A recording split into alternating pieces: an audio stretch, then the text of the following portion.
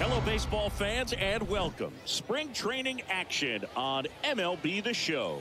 It's the 51s taking on the 51s.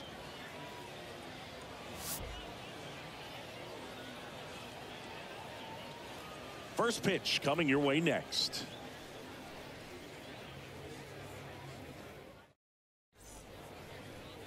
Just about set to go now.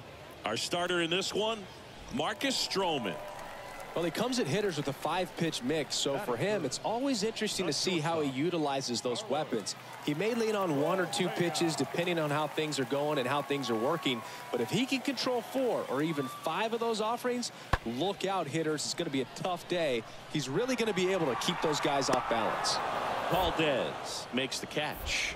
Runner tags for home. Throw cut off. Down to the plate. Not in time. He scores. And it's 1 nothing. There you go. Nice little RBI there. It's a great. So two down. Valdez. The next to hit. The left fielder, number 32. And that's a base hit. And that keeps the inning going.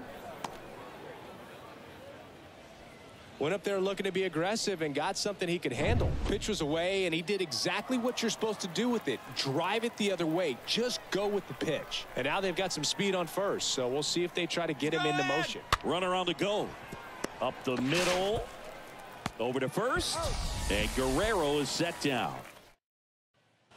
Man in scoring position with two away.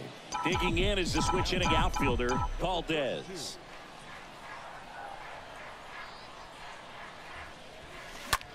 This one lifted in the air, left field. Ramos sizes this one up, and that will end the inning.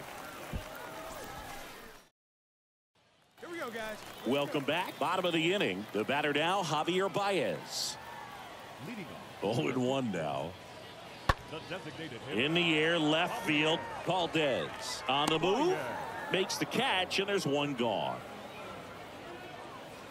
Nice warm day here, good baseball weather. Does that change anything, Chris, especially for the hitters? Absolutely. You feel so much more calm. Looks like it'll be a pinch hitter.